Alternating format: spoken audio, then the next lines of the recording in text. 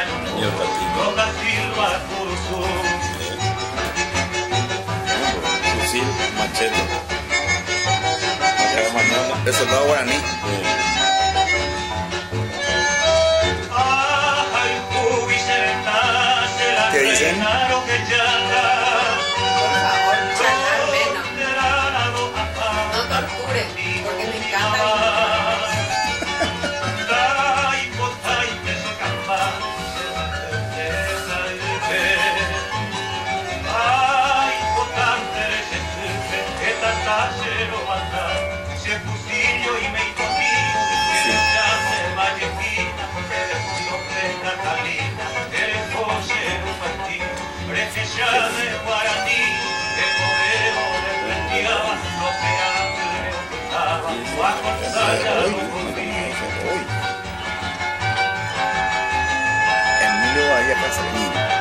No hay nada acá de, de, de BG hoy. No hay nada.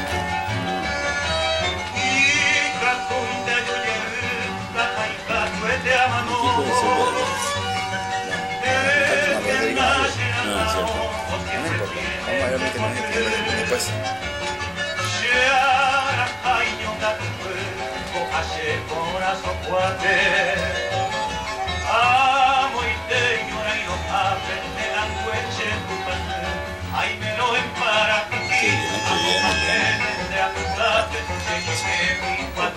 Entrevista de Emiliano que le conoció a Emiliano, que le llevaba a Mati. Y cuenta que Emiliano el agua, bueno, comparte que él estaba para alentar a la gente. Ay, el camarógrafo, anda. La música. No importa. Adelante. Bueno, escuchamos eh, Shela Reina en versión de Aníbal Lovera y su conjunto. Ahora vamos al tema número... Sin homenaje a nadie, ¿verdad? Claro, por supuesto. A todas las... eh, las novias, hermanas, madres, abuelas de los que estuvieron en el Chaco. Ahora vamos al tema número 5, que es justamente la fecha de hoy. 29 de septiembre de Miguel G. Fariña y Emilio Bodella Cáceres. Siempre ¿Conoce- con conoce el tema ese? Sí, muy lindo. Qué bueno. Bueno, entonces le damos los saludos a, la gente que nos sigue de todas partes del mundo en vivo y en directo y a la gente que, que se toma la molestia de llamarnos por teléfono como el amigo este Rubén que nos acaba de llamar de España, ¿verdad? O sea que muy contentos con el con lo que estamos cosechando, ¿verdad? Pero Años claro, de, dar y de Sí. ofrecer algo puro, nuestro, sencillo y ahora empezamos a cosechar amigos. ¿eh? Ya, Entonces vamos al tema hoy que tiene que ver con el día de hoy. ¿eh? 29 de septiembre.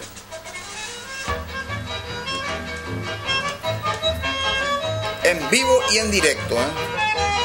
con la banda ancha de Tigo, fibra óptica.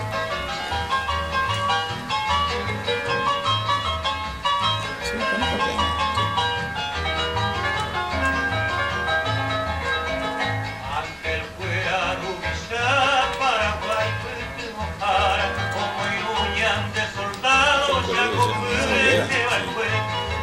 aunque sea un niña de Cuba, o más que San Miguel para, y ahí no ajo y canto y pava, porque el otro que ya paité.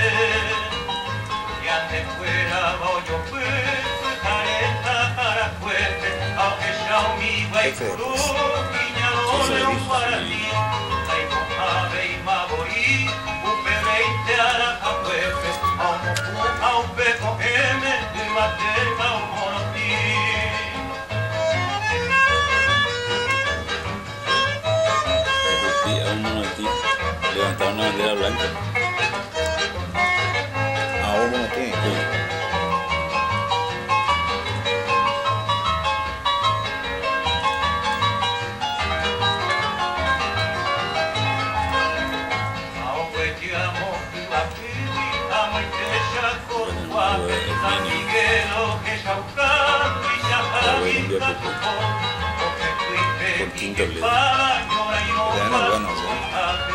de Toledo, Soldado del este y este. No, tres más. Este, este que Renato Sosa. No, pero este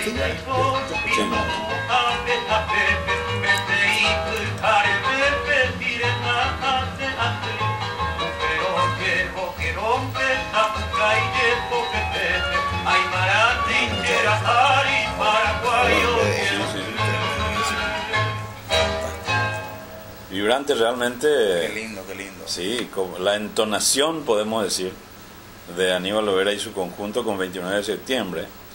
Eh, la mayoría de las batallas en la guerra del Chaco eran parajes con denominación guaranítica, exclusivamente. Y ¿Ah, esta palabra nanagua es un poco una mezcla de guaraní con aymara y un poquito otras tribus eh, chaqueñas y un poco del sur de Bolivia. Eh, es vibrante, es un tema de eh, Julián Alarcón con Carlos Miguel Jiménez. Julián Alarcón le puso la música y Carlos Miguel Jiménez la letra.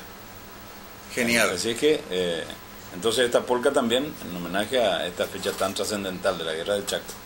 Entonces es el tema 4. Es el tema 4. Aníbal.